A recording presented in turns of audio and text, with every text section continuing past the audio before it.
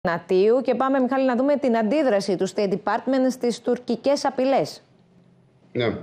Στέλλα, καλησπέρα. Πρώτα απ' όλα να πούμε ότι η πιο σημαντική είδηση που βγαίνει από τις δηλώσεις του ίδιου του κ. Ερτογάν είναι ότι παραδέχεται για πρώτη φορά δημόσια ότι οι Αμερικανοί του είπαν ότι δεν μπορεί να παρενοχλήσει το ιοτρύπανο της ExxonMobil στο οικόπεδο 10 της Κυπριακής ΑΟΣ. Mm-hmm.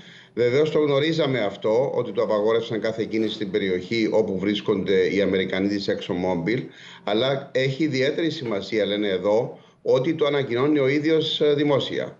Από εκεί και πέρα ήταν αναμενόμενη η απάντηση του State Department στο ερώτημα που κάναμε και που, και που αφορούσε αυτές ακριβώς τις λόγες του κ. Ερτογάν. Και δεν ήταν μια γενική ερώτηση και το λέω γιατί έχει σημασία. Ήταν ειδική και αναφερόταν και στη δραστηριότητα της ExxonMobil. Το Αμερικανικό Υπουργείο Εξωτερικών αποθαρρύνει λοιπόν κάθε ενέργεια ή ρητορική που αυξάνει τις εντάσεις στην περιοχή της Ανατολικής Μεσογείου. Και βεβαίως μόνο ο κύριος Ερτογάν είναι αυτός που προκαλεί την ένταση. Κανένας άλλος δεν προκαλεί την ένταση.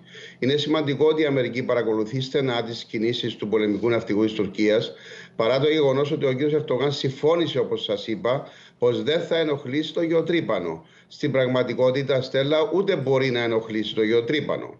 Τα συμφέροντα της Αμερικής στην περιοχή πια είναι πάρα πολύ μεγάλα, είναι τεράστια και η επένδυση της ExxonMobil αυτό ακριβώς εξυπηρετεί τη στρατηγική των ΗΠΑ στην Ανατολική Μεσόγειο. Στη δήλωση του State Department στο ΜΕΚΑ καταγράφεται επίσης το δικαίωμα της Κύπρου να αναπτύξει τους πόρους εντός της δικής της αποκλειστικής οικονομικής ζώνης και βεβαίως τονίζεται όπως κάνουν πάντα οι Αμερικανοί ότι οι πόροι πρέπει να μοιραστούν ακριβοδίκαια μετά τη λύση που σημαίνει σύμφωνα και με το ποσοστό του πληθυσμού και όχι όπως εκβιάζει η Τουρκία στο 50-50.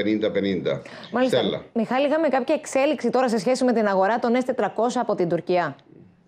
Ναι, έγινε διαρροή πριν από λίγο από την Αμερικάνικη κυβέρνηση ότι αν η Τουρκία προχωρήσει με την αγορά των ρωσικών S400 αυτό και μόνο είναι λόγος για επιβολή κυρώσεων.